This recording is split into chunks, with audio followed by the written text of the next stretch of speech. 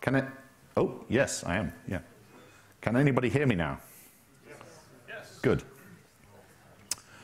Right, so uh, thank you for coming. Uh, I'm Simon Elliston Ball. I'm a product manager at Hortonworks. I'll tell you a little bit about uh, you have, uh, problems that we're solving around cybersecurity and how the scalable platforms that we're building uh, solve those problems. So this is going to be a, uh, a, fairly business level track. This is on the business track.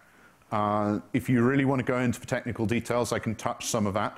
But just to get a quick idea of the audience, how many of you are more on the kind of strategic business side and how many technical? Sorry, business first? Okay. Technical? Okay. How many of you can read labels on tracks? so, uh, all right, I will, I will dig into some of the detail and um, give you a little bit more of the technical side. So, yeah, the, the smattering of you there can just zone out for, yeah, if I, if I start to get too geeky. Um, the other thing I'd like to ask is how many of you are security people or work in a security function Okay, and how many of you uh, work in a more big data type function? Okay, so anyone who didn't put their hands up to either of those, are you lost? Uh, okay, good. right. So, uh, yeah, that's me. Um, I've been doing Hadoop things for a while. Um, this I just wanted to share because it's extremely cute. This is an origami elephant from our London office. Um, the thing about rolling big data infrastructures is often it is a little bit like doing origami. Uh, yeah, anyone can take a piece of paper and fold it. Not everyone can produce these beautiful little elephants. I did try, but not for very long. So when we're talking about cybersecurity these days, it's really changing quite a lot. And the kind of threat sources that are facing an organization are very different now to what they were. To talk a little bit about what the real threat sources are. This thing up here, this is a this is an IP camera. It's hooked onto the side of my house. It's for watching when my cat gets in trouble. That's what it is to me. It's very handy. It's a little bit of security. Lots of people have them. However, to a botnet master, this is a CPU with an incredibly high-speed internet connection, which is capable of easily streaming HD-level video at about 12.5 megabits per second. So I can use that for all sorts of things.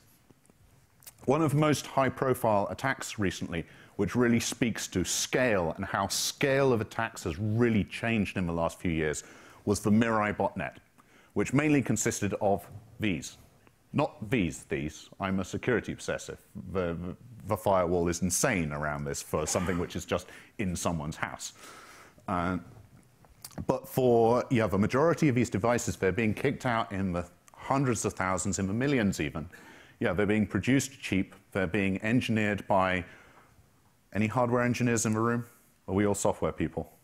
Good. We can be rudish about the hardware engineers and the fact that they tend to focus much more on how much they can do with uh, yeah, a couple of megabytes of memory on a small embedded chip than they do about how much they should be encrypting and providing proper security protocols. But all these devices that end up out there, yeah, their CPUs are getting better, their capabilities are getting better. They're all being hooked up to nice big fast fiber internet connections, and they're all causing uh, uh, you know, us poor innocent enterprises a huge problem. So when Mirai attacked uh, the Dyn DNS East Coast network, there were reports at points during that attack, unconfirmed I should point out, but because no one could really figure out how to measure the full volume of this attack speed, of over 1.2 terabits per second of traffic hitting Dyn DNS servers.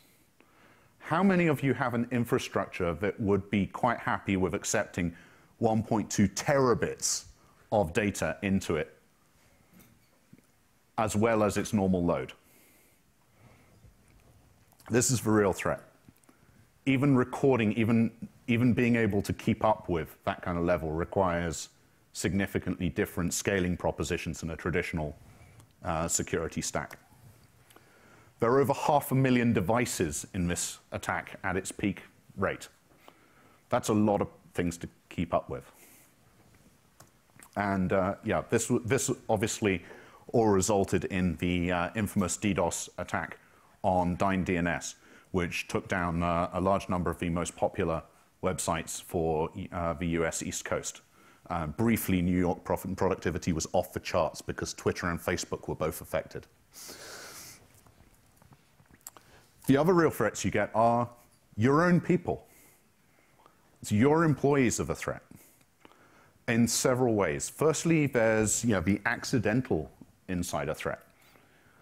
Phishing is a huge problem. People who will click on anything you send them that's got a cat, it might be a cat picture. We're a little bit past that for most organizations, uh, but you know, a lot of people have tried to solve this with training, basic training, and conversely, the attackers have got a little bit better. There are even uh, cases where advanced security researchers have got pretty close to falling for some very well-crafted spear phishing attacks. And, these days, if you receive a Google reset email, a password reset email, for example, I, I would just never, never. They're getting really convincing now. So that's part of your threat. And of course, the profusion of mobile devices, you know, bring your own device, uh, that, the whole trend around that what we're finding is that IT can no longer take that approach that they used to of, well, we don't allow that, we lock it down, or you know, we, we encrypt that. You know, that's no longer a viable approach uh, for providing availability of service to your business workers. And yeah, we, uh, a, lot of, a lot of things get blamed on the millennial generation, but they are requiring working practices that take devices and take data outside of our traditional firewall environments. So those are the kind of environments that we now have to protect. So we have to consider things well beyond our traditional, yeah, nice walled garden. Not to mention the fact that our nice walled garden is already full of weeds. The other kind of key things which are coming up a lot more, and you, know, you hear a lot more about these days, are things like ransomware attacks. Uh, yeah, ransomware I'm sure you're all aware of. It's the principle that someone will come along, infect you with a little bit of malware, and encrypt your hard drive. That's if you're lucky. Uh, if you're in an enterprise environment, it'll also do things like encrypt all the things on your network shares. Um, these are the kind of things which uh, you really want to catch unbelievably fast. So the scale issue has gone not just from being about sheer volume of traffic like you get with those kind of uh, you know, IoT-led DDoS attacks, or even the diversity of traffic that you get from the multiple locations of you know, all of your mobile workers and you know, the profusion of devices that they have. But also from the need for absolute speed to nip things in the bud, catch things before they become a problem. So security departments can't deal with systems which are now taking minutes, hours, days to notice things.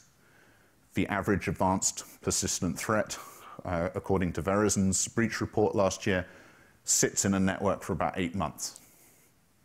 This brings us to another problem that modern SOCs have, uh, which is essentially you just can't store enough data. You can't store and query eight months worth of data in a traditional SOC, in a traditional SIEM platform.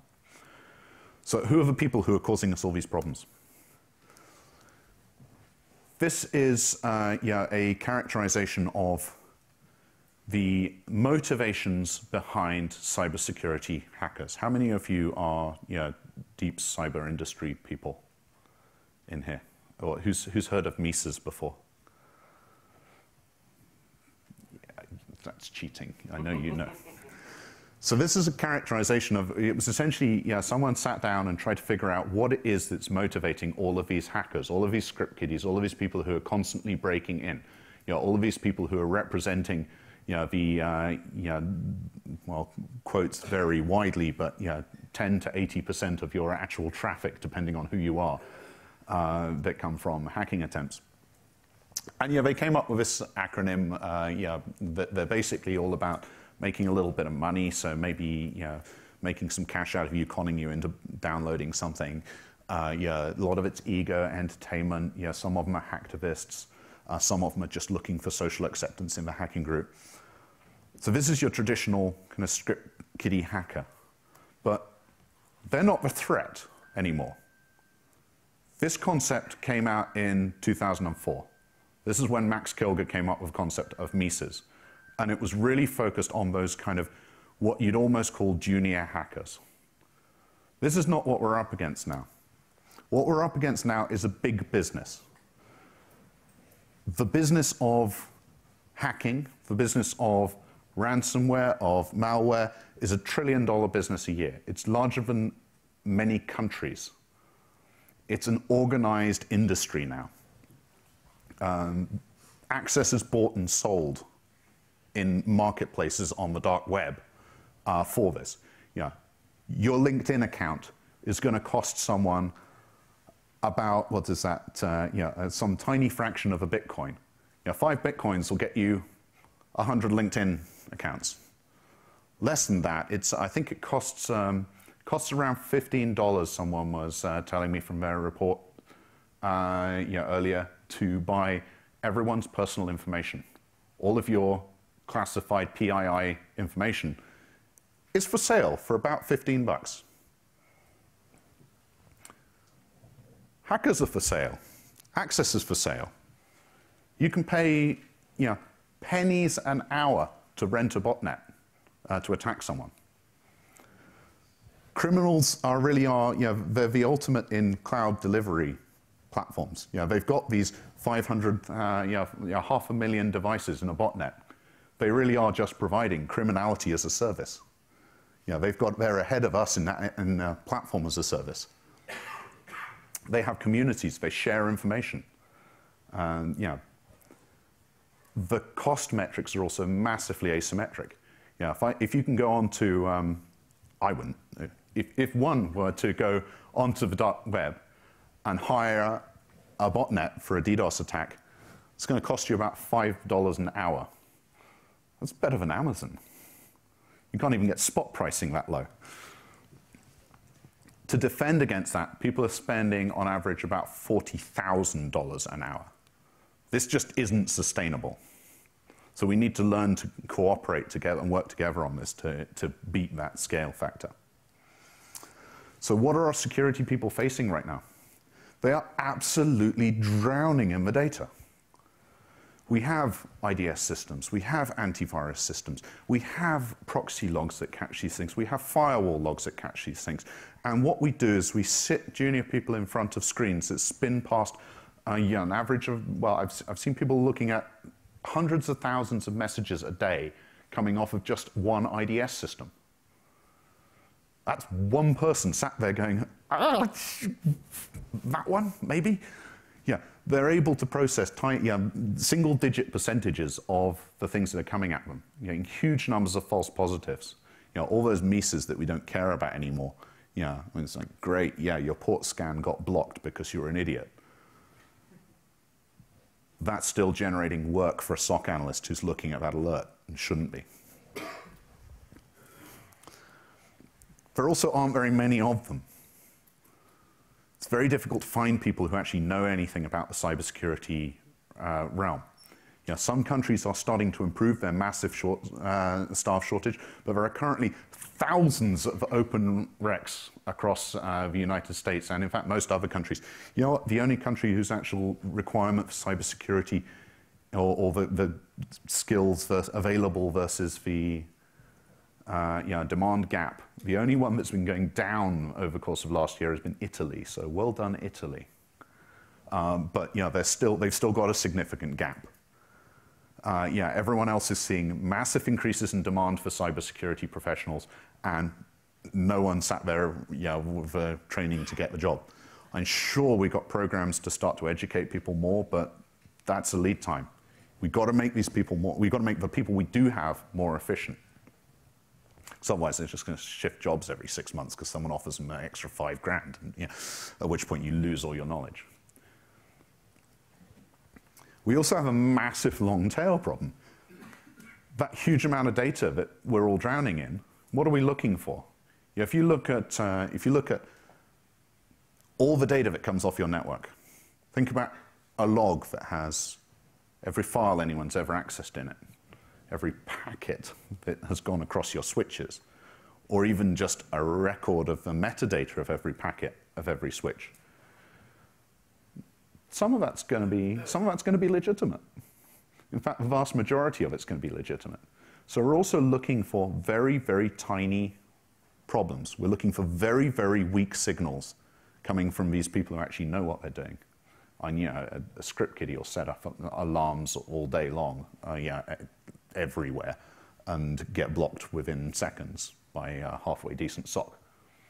But the real threats and the lurking insider threats and the persistent threats that have been sat around on the network for months undetected, they're there because they're producing tiny signals of activity. They know what they're doing. They know how to sail under that radar. So we're looking at something which is actually quite hard to solve with traditional methods. You know, a lot of data science uh, and you know, a lot of the kind of standard BI analytics that we're looking for is geared towards looking for the big trend. It's not necessarily geared for looking for the tiny, minuscule outlier, you know, the, the one in 10,000 case, which is actually a real threat. So we find it very difficult to use uh, a lot of the traditional techniques that we've used to, to capture those. So we've had to develop essentially a new approach and a new, we've, we've had to look at a lot of data science and anomaly detection the other way up so that we can pick out those tiny signals uh, while avoiding all the false positives of the, uh, of the majority. So what are we fighting this stuff with today? We've got SIEMs, we've got log stores, we've got yeah, things like ELK, we've got maybe uh, yeah, something like a Gigastore or a Gigamon, a packet store that's recording everything on our network, and we've got some threat intel feeds, and we've got some forensics tools, and we've got things like Wireshark, and we've got a bunch of people who are using these other things over here, and we've probably got some tools, and yeah, I, I bet there's, I bet most of you got some sort of endpoint agent. Has your central IT recently installed something on your laptop that takes away at least one of your cores all day uh, to record what's going on and try and, you know, claims that it's doing advanced machine learning on it to protect you from viruses, uh, but is actually just kind of looking at signatures that change a little bit. Yeah, we've got all these kind of pieces. Then you've got all the kind of fancy new uh, user behavior analytics pieces, which are over there in something that a startup installed on a different system. And yeah, this is, um, there's a reason why the walls of SOC centers have banks and banks of monitors. Because they've got about a, they've got about 30 different dashboards they've got to try and watch and correlate yeah, in their heads by hand. These systems tend to be very, very siloed as well. They don't interoperate, they don't integrate well. We were talking to a customer recently about a phishing attack that they were subject to.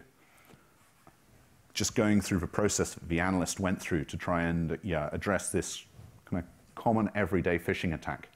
They had to log into seven separate systems, seven different consoles, and submit two support tickets to external teams to get the information they needed to know whether it was actually a, really an attack or not. So we've got a classic silo problem, right? It's just like those old days when the databases were siloed. We've also got rules in a lot of these systems. Most of these systems are based on static rules. So what you have is you have a, a system, you have an, an intrusion detection system, for example, which says, okay, if I've seen 30 logins, 30 failed logins within the last five minutes, then someone's trying a brute force password attack, block that account or block that IP address or source or whatever. You know what? That's going to fool the 14 year old script kiddie who's downloading a brute force tool off the internet. Certainly not going to fool an advanced hacker who goes, fine, all right, 29 times, wait five minutes. They've got all the time in the world to wait for that. That's going to sail underneath all of your rules. We're talking to you know, uh, a customer the other day who has three and a half thousand rules in their SIEM system. Maintaining those rules is a nightmare. Keeping all these rules up to date. We have other customers who have you know, rule sets which have evolved over such a period of time that there's now you know, about half a person who actually understands them. And every time they had to change a rule because of a particular event or put an exclusion in there, yeah, their rules rot. It's like, it's like code rot, but way faster. Yeah, they, that, that kind of collection of knowledge feels often like it's a huge asset in your organization, but often it's actually hampering you from finding things. Someone's put in an exception because of some upgrade from a year ago. Now that's buried deep in your rules, and that's a backdoor that you've actively introduced into your rules framework. So rules are, as often as not, a liability rather than an asset to your security protection. And then, of course, there are all the shiny new tools. And yeah, there are lots of new startup companies. They've all, uh, they've all got a PhD in a particular algorithm, and they've come out of university and want to productionize that algorithm. So, and yeah, they turn up to shows like RSA. So I was at RSA recently, went round, saw uh, there were about 650 different vendors there, uh, all of whom had yeah, their own tool, which was another silo. And so you kind of went, that algorithm is fantastic. I really need that algorithm to protect my data set. How do I get it? Like, ah, right, well, what you do is first you uh, go through a boring sales cycle. Then what you do is you download our package and you build a cluster and you put it on an independent cluster and you get our black boxes and then you install our agents on every single one of your machines. But don't worry, they're lightweight agents and the fact that you've already got 50 of them is not a problem. Um, and then you, uh, you know, put our capture devices in each of your locations. And then we can turn it on. Great. Thanks. Next. Um, so there's this huge problem with the actual access to this innovation right now. There's no means or there's no easy means for people to be able to just plug into a data source. There are no data standards which have stood up. Yeah, there are plenty of data standards.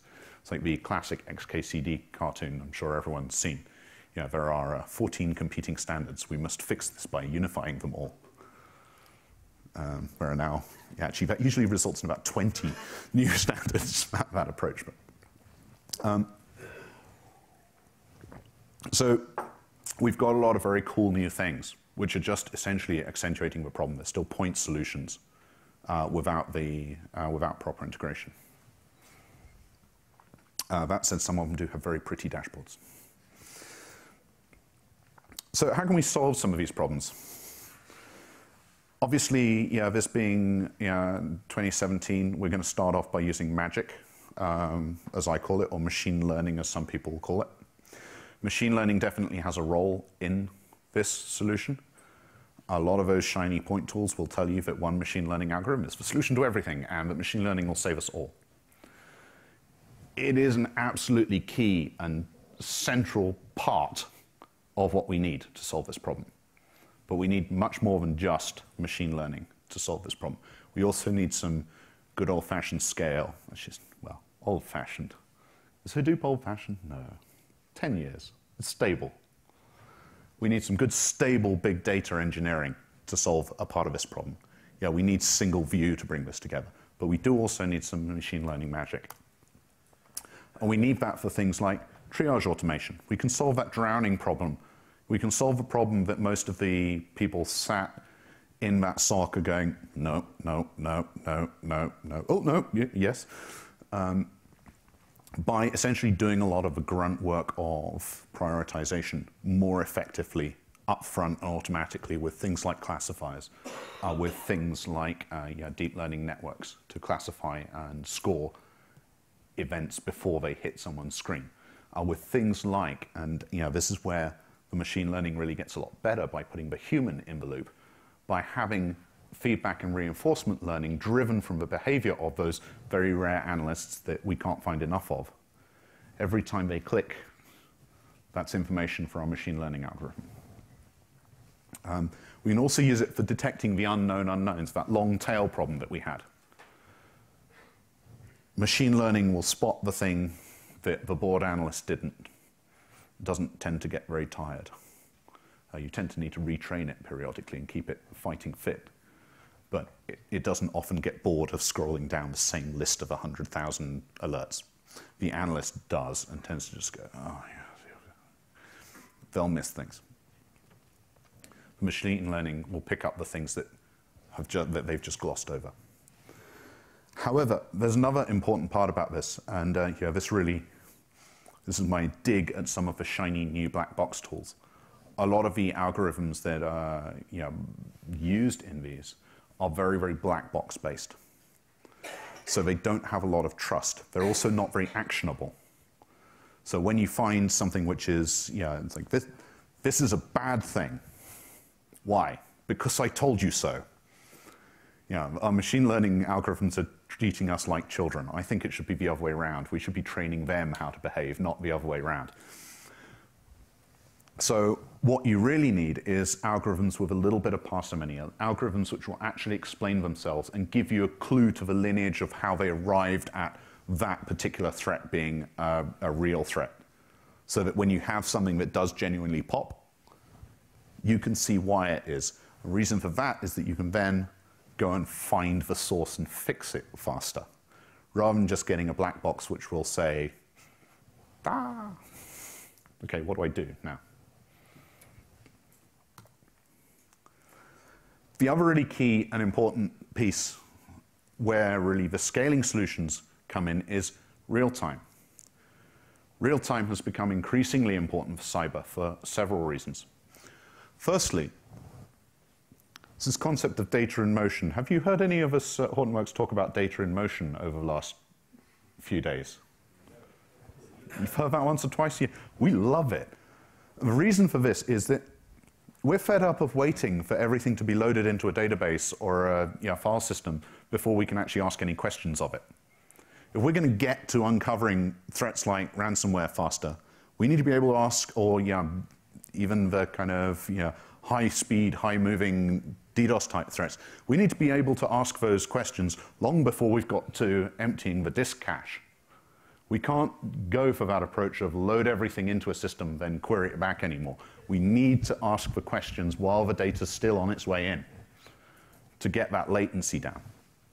So uh, one of the things we've done, for example, with our cybersecurity project, Apache Metron, is to put an incredible amount of work into the architecture to reduce the amount of latency of a message passing through that system so that we can respond to things in milliseconds instead of minutes.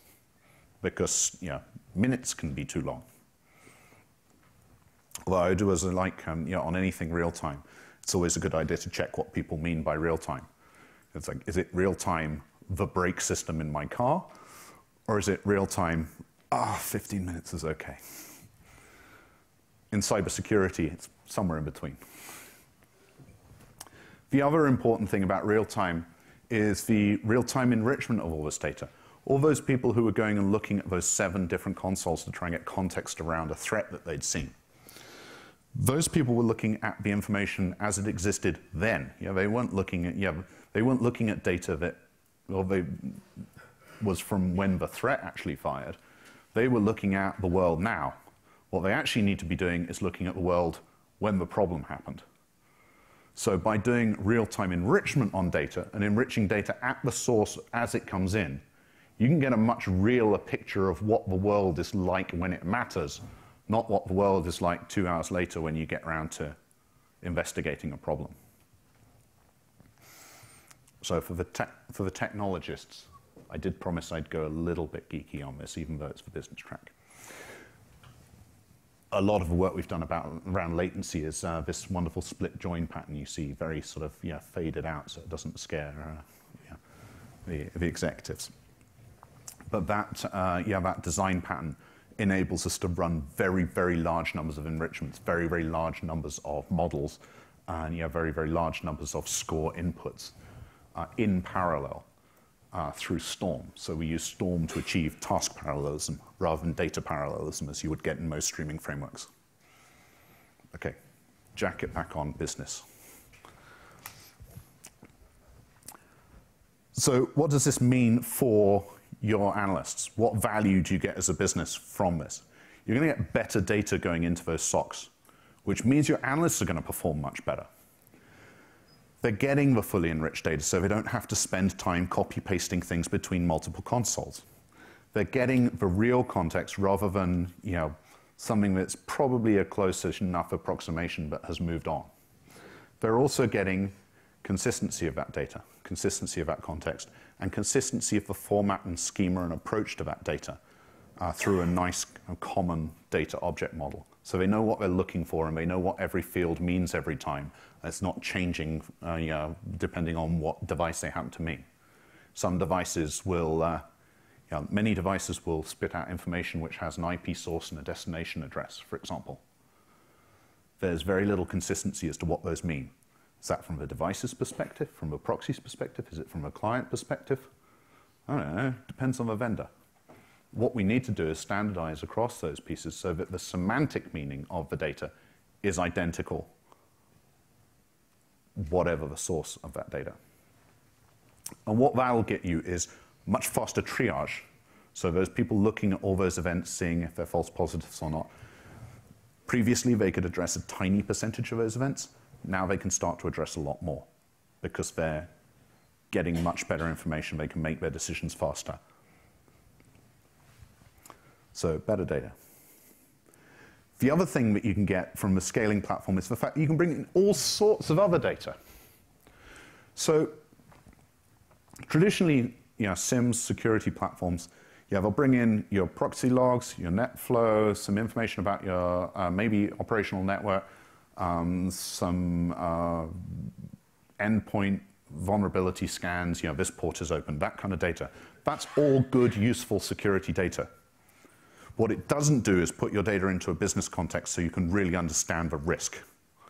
What it also doesn't do is tell you who those people are. I was like, great, I've got a proxy log which has an IP address in. This IP address has done something bad. Okay, fine. Is that IP address the you know, PC behind the you know, front desk that displays the pretty graphic for, to impress sales prospects when you walk in. Um, or, yeah, and I, I, don't really care too much about that. Or is it the, um, is it the head of IT's yeah, root admin console? At which point I'm going to start caring a lot more about that being compromised bringing in all of that kind of asset type data. You know, we've even had people talking about um, doing things like bringing in video surveillance data. You know, this person just logged into this. Can I correlate that against the facial recognition from the CCTV camera in the corner of a room? Yes, that's kind of useful. Uh, if you can bring in those any form of data to be able to do that, then you get a much more sophisticated view of what's going on with your organization. Uh, so you bring in your HR data, you bring in your physical security data, you bring in content of email, for example. Uh, you bring in raw network packet level data. Because we're building on scalable big data technologies uh, without the strict adherence to schema that you get with the traditional tools, which are mostly, by the way, you know, Oracle databases underneath. So, you know, they have things like, yeah, they'll let you bring in some custom data, but they'll let you bring in like six fields of custom data um, because of the flexibility of the platform we're building on, we can bring in quite literally anything that can support that security case, as long as you can sort of write a parser that parses enough of it to be interesting. It's a very schema on read type approach as well, which makes it very efficient for your data engineers to do the minimum work for the maximum return. The other thing you get is much longer term data. Yeah, we said, what was it, eight months, the average attack I mentioned? Eight months is the kind of time that it'll take you to notice that someone's been messing about in your network. Most, I'd say probably the average of people we talk to probably have about, what, what do you reckon, two, three months data stored? Well, it ranges from kind of two weeks to, yeah, three or four months if you're yeah. really lucky. Yeah. I talked to someone the other day who said, well, we can't really put more than four days worth of data into our SIEM. We can't query over more than four days. How are they going to find the guy who's been there for eight months? So the sheer scalability and the, um, the cheap storage, the classic Hadoop story, really comes into its own there as well. The other piece that you get is really, because of the flexibility of integration, you get a much more executable response. Uh, all that stuff I was talking about, about how we explain the principles behind why rules fire and why machine learning models give you a certain score, a parsimony element for uh, the data scientists among you. There's a reason for that. It's because it means that we can actually act on the results. There is no point in me kicking out an alert that something's gone wrong if I can't do something about it to fix it. It's just depressing, frankly. So what we need is something which will provide us real actionable results. So for example, I was talking to uh, yeah, a customer the other day. They have uh, some uh, ransomware detection pieces. They, they feed in uh, a variety of feeds which trigger, increase the confidence of uh, an event. And so they might have, say, someone has downloaded, someone's received a suspicious email. Then there's a proxy log that says they clicked on a dodgy link. There's a download of uh, some executable file. They're infected. Okay, right now we're seeing weird stuff on their NetFlow.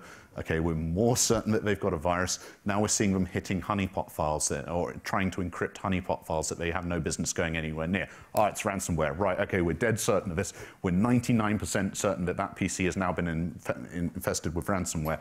We'd better tell the security analyst about it, right? No. You don't tell the security analyst about that because the security analyst is staring at 2,000 other things that are all trying to get his attention. What you do is you take that message with that high confidence that's come straight off your Kafka queue, integrate that with uh, something like your uh, cloud, uh, CrowdStrike environment, which will immediately isolate that PC from your network. It will basically say to your network switches, no, no more network access to you. And that's what, prevent, that's what protects you from losing all the information on your file shares to a ransomware attack. And at that point, you're like, ah, someone lost some stuff that they happened to be working on on the PC at the time. And everyone backs those up, right? All your client machines are backed up religiously every five minutes. No? Right, okay. But we've got a minimal loss at that point. So what they're actually doing, they've gone a kind of step further, uh, in fact, and yeah, for high confidence messages, they've integrated the orchestration layer of that to say, your PC was infected with ransomware. I'm going to rebuild it now, which is pretty harsh, but you know, if you can imagine just typing away and nearly finish that report, my PC just started rebuilding. but you know that, that ability to respond in machine time, not human time, is also absolutely key to this. And for that, you have to be able to build systems which are able to both integrate with anything through you know, nice bus type technologies like Kafka, but also which are able to build up those kind of confidences so that you, you've got to be pretty certain before you take that kind of action. And which can also really understand the context in which they're taking that action so they can respond in, yeah, as I say, in machine time, not in human time. So how do you do it? Big data. Several things. Look at the raw network traffic. How many people ingest and keep all their raw network traffic into their existing SIEM platform that has 20 gig of storage? No one. It's possible to do with Hadoop. It's possible to do with the scalability. And it's full of really, really useful information bring in all the other data sources, but make sure that there's a way of harmonizing them and normalizing them into a common source so that your data scientists can start from a point of actually knowing what the data means, have some governance around it so that they can get on with their work faster. And also bring in your business data. Think beyond traditional security data. Think about things like the financial data. This is all full of wonderful clues that something is amiss. Uh, yeah, it's not. It's going beyond the sort of simple, you know, traditional data sources that you might get from a few log files and some NetFlow. And the flexibility of a lot of the platforms gives you that. Use massively scalable platforms to do this. Use HDP, use HDF for these. Use Hadoop and the power of the streaming technologies to be able to do that at massive scale because that's what's coming for you. Do it yourself. Take all these wonderful tools, uh, know, mix them out of a toolbox and try and figure out how to spend the next two years plumbing it together. Or use a framework.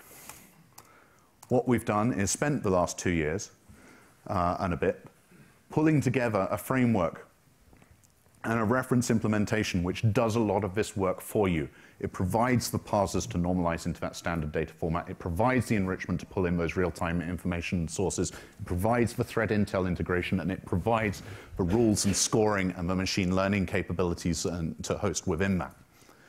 What this gives you is the leg up that you need.